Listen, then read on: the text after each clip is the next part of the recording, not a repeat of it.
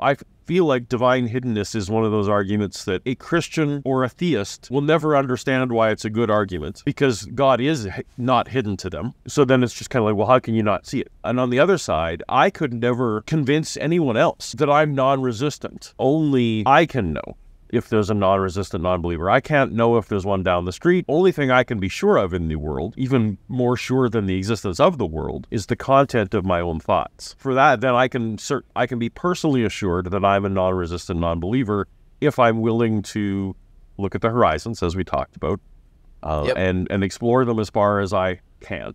Because if my resistance is subconscious, is that really me resisting? You know, at some point, God has to overcome some of those barriers right. for me.